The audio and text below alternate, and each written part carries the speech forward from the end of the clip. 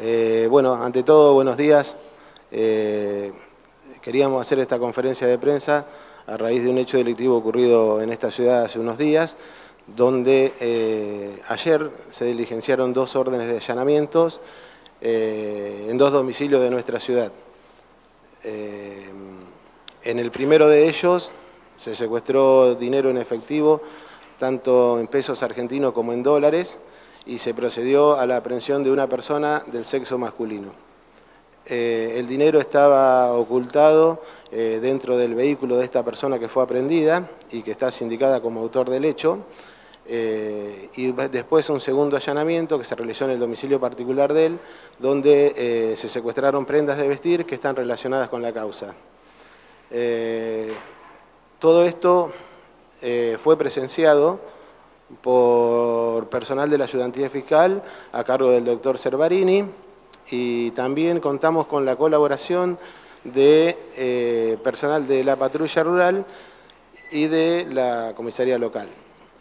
Es dable destacar eh, el acompañamiento y el agradecimiento personal hacia, todo el, hacia todos los oficiales de la comisaría, donde en todo momento se prestaron eh, toda la colaboración para tratar, tratar de esclarecer el hecho que nos ocupó un par de semanas. Este, entonces este es mi agradecimiento personal hacia ellos y también hacer público el agradecimiento tanto al centro de monitoreo que aportó eh, todas las filmaciones, donde se hizo un trabajo en el terreno, se ubicó al, al sindicato y bueno, por suerte llegamos a un buen puerto. Eh, en este momento fue trasladado a la Fiscalía de Mercedes para que preste declaración indagatoria. Esta persona tiene antecedentes ya de dos hechos de años anteriores. Presumiblemente, y por los testimonios que existen en la causa, sí. El hecho es de apellido Elías, la señora, donde le sustrajeron dinero en efectivo, tanto pesos y dólares. ¿Qué tal? Buenos días. Eh, bueno, para hacer un, un reconto del hecho en sí, el hecho ocurrió el día 20 de enero aproximadamente a las 8 y media de la mañana, en la calle Güemes entre Piedras y Bernardino Esperanza. La familia asiste, eh, fue la danificada. En este caso, el masculino ingresa mediante un ardid a la vivienda, mediante amenaza y algunos golpes a la mujer, este, le sustrae aproximadamente un millón de pesos. Y quiero aclarar una cosa, en su momento se rumoreó, mejor dicho, en primera instancia, eh, el esposo de la, de la, víctima denunció una suma superior a los 300 mil dólares.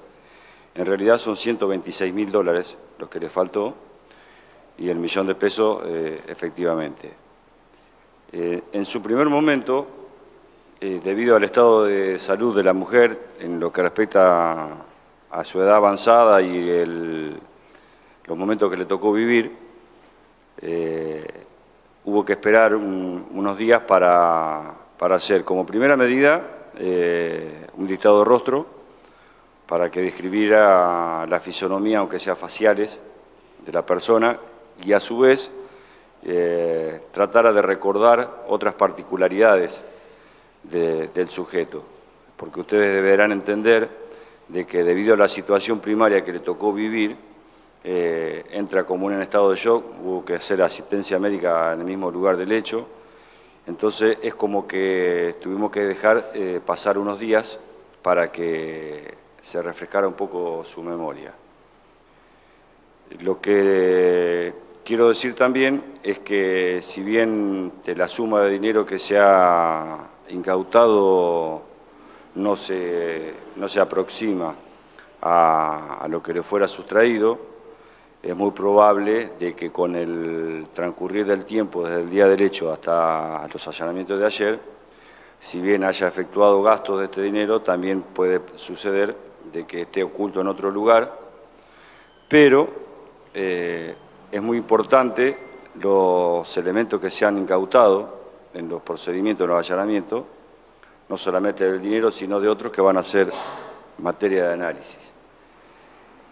Lo que, lo que también puedo decir es que se ha hecho un trabajo eh, muy fino y profesional por parte de la, estación comunal, la ayudantía fiscal y el centro de monitoreo municipal, porque en realidad en las cercanías, cercanías del lugar no, no tenemos cámara de vigilancia urbana, pero bueno, fue muy valioso el aporte, y quiero aprovechar este medio eh, para decirlo, de las cámaras privadas, de aquellos vecinos que al momento que las fueron a pedir, las entregaron.